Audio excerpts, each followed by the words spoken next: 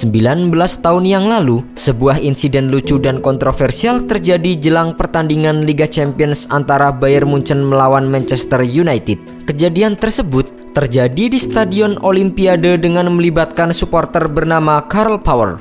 Tepatnya pada tanggal 18 April 2001, Power membuat sensasi dengan menyusup ke starting eleven Manchester United jelang pertandingan leg kedua perempat final Liga Champions 2000-2001 melawan Bayern Munchen. Power yang merupakan supporter setia Manchester United datang ke Stadion Olimpiade bersama dengan sahabatnya yang bernama Tommy. Keduanya menyamar sebagai seorang jurnalis dengan Power menggunakan kostum putih MU di bagian dalam lengkap dengan sepatu bola. Ketika 11 pemain MU bersiap untuk melakukan foto tim, Power langsung mencopot baju jurnalisnya dan berjalan ke arah starting eleven Red Devils. Pada awalnya, tidak ada yang curiga dengan keberadaan Power.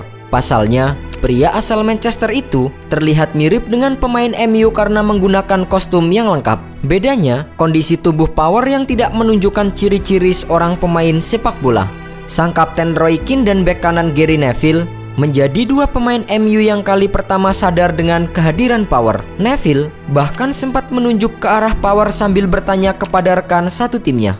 Neville menunjuk saya dan mengatakan itu siapa. Kemudian saya bilang ke dia, diam Neville, kamu berisik. Saya melakukan untuk Eric Cantona. Ujar Power dikutip dari The Guardian. Momen lucu pun terjadi, starting eleven MU langsung melihat ke arah Power dengan penuh keheranan. Nicky Butt yang berada di sisi kanan Power bahkan tertangkap kamera berulang kali melihat ke arah Power dari atas kepala hingga kaki. Lucunya lagi, penyerang Andy Cole hampir tidak mendapatkan ruang untuk foto bersama sebelum Power memberinya sedikit ruang di samping bat. Power akhirnya berhasil melakukan foto bom bersama dengan starting eleven MU tanpa ketahuan petugas keamanan.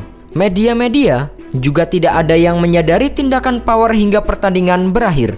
Baru keesokan harinya, Sejumlah surat kabar di Inggris mengunggah foto aneh starting 11 MU yang ada 12 pemain ditambah dengan Power. Usut punya usut, hal ini memang sudah direncanakan oleh Power dan rekan-rekannya. Pria asal Manchester ini sebetulnya hendak melakukan prank tersebut di babak final. Namun, karena ia ragu MU bisa sampai ke babak final, jadilah ia melakukannya di Munchen. Benar saja, di laga itu MU kalah 1-2 dan tersingkir dengan agregat 1-3. Bayer sendiri akhirnya keluar sebagai juara pada musim itu. Kami membawa tiga kostum MU, masing-masing berwarna merah, putih, dan biru. Lalu, kami mengetahui di mana para pemain menginap dan dari seseorang kami tahu seragam warna apa yang akan mereka pakai. Kami kembali dan mempersiapkannya di kamar hotel kami. Kami naik taksi ke stadion. Di sana, kami berpura-pura satu rombongan dengan kru TV dan penjaga gerbang pun mengizinkan kami masuk. Kami berhasil menuju pinggir lapangan dan menunggu para pemain keluar dari terowongan.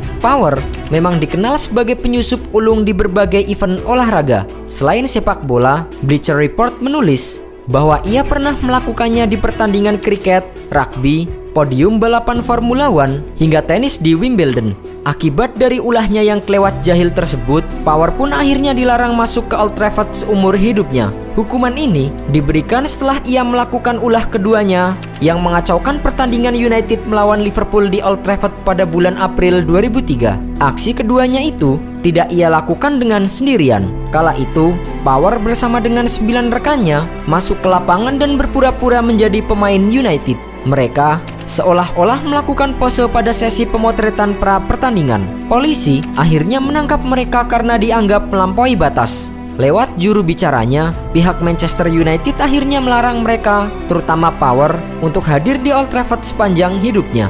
Ulah Power yang tergolong unik itu sempat membuat BBC mendokumentasikan kejahilannya dalam film dokumenter berjudul Britain Favorite Hoaxer